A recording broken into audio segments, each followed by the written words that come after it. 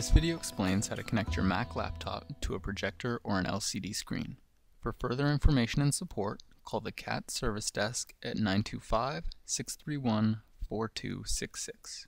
Here is an example setup you may encounter in a classroom. To connect your laptop, you will be using a VGA cable and the attached audio plug, as well as a Mac adapter. Plug the VGA cable into the Mac adapter. Be sure to screw it in tightly to secure it. Plug the Mac adapter into the side of your laptop.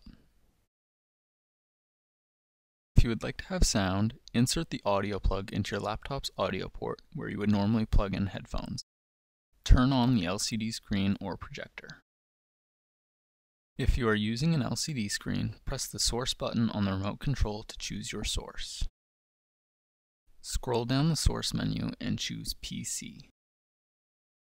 Your laptop screen should now be projected onto the LCD screen. If you have any questions, contact the CaTS service desk at 925 631 4266.